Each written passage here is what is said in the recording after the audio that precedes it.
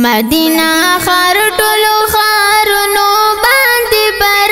دې شمتري لګې دمه وطن د پیغمبر دې شمتري لګې دمه وطن د پیغمبر دې مدینہ خار ټولو خار سترګې د می وطن د پیغمبر دې شمتري لګې د می وطن د پیغمبر دې پاک لور کړي مدینه لعزتنا دي پاک رسول الله می پکی خیقا الله می پکی اخی قدمونه دی پکی موجود هر عاشق د زړګي سر دی شم تری لګي دامي وطن د پیغمبر دی شم تری لګي دامي وطن د پیغمبر دی مدینه خر ټولو غارونو زمي وطن د پیغمبر دی شم تری لوګې دامي وطن د پیغمبر دې لار یو کوسي د مدینه دی خوشبوداري سری شګي هم دی په والله چې مزیداري سری شګي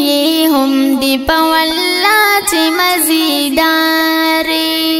جبريل من زکه خادم دده شم تریلوګه دمی وطن د پیغمبر دې شم تریلوګه دمی وطن د پیغمبر دې مدینه خر ټولو خر نو باندې بر دې شم تریلوګه دمی وطن د پیغمبر دې شم تریلوګه دمی وطن د پیغمبر دې جنت البقی کی دا نبی دا باغ گلان دی دا غلطا دفن دا دن دا شمی پتنگان دی دا غلطا دفن دا دن دا شمی پتنگان دی دا صحابو لوګي دمي وطن د پیغمبر دې شمتر لوګي دمي وطن د پیغمبر دې مدینه خر ټول خارونو باندې بر دې شمتر لوګي دمي وطن د پیغمبر دې شمتر لوګي دمي وطن د پیغمبر دې حضرت صدیق دویم عمر ته وکړه پام بل شریف خدا د تر بچی د ګل فام بل شریف خدا د تر بچی د ګل فام سانی نشته د عثمان د حیا غر د شمتری لوګه دامي وطن د پیغمبر د شم تریلوګې د می وطن د پیغمبر د مدینه خار ټولو خارونو باندې بر د شم تریلوګې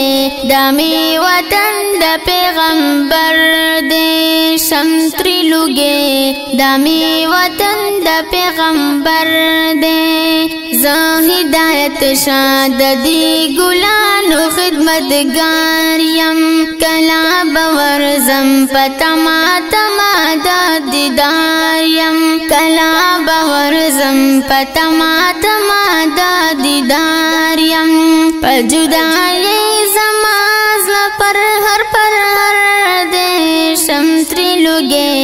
د می وطن د پیغمبر د شمتري لګي د می وطن د پیغمبر د مدینه خر ټولو خارونو باندې پر د شمتري لګي د می وطن د پیغمبر د شمتري لګي د می وطن د پیغمبر د